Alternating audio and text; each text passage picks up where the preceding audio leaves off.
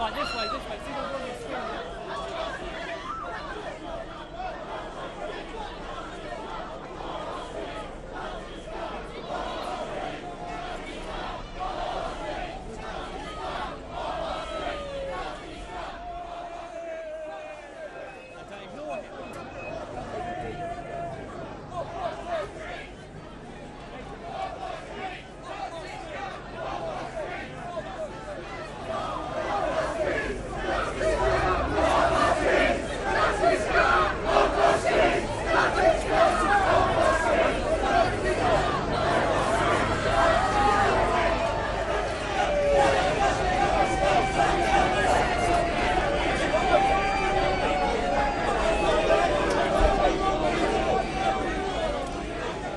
I think it's quite a shocking uh, sign of the times, but I think the decision for him to be on the panel is correct because it gives everybody the chance to argue with him and hopefully see that his position is entirely untenable.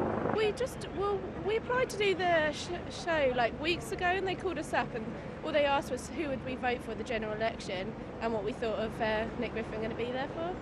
What I said to them uh, was that I don't agree with any of the values that he's saying, but I think if we, I think it's important that if a, a, like a million people voted, that everyone should, that he has a right to be on the show, basically.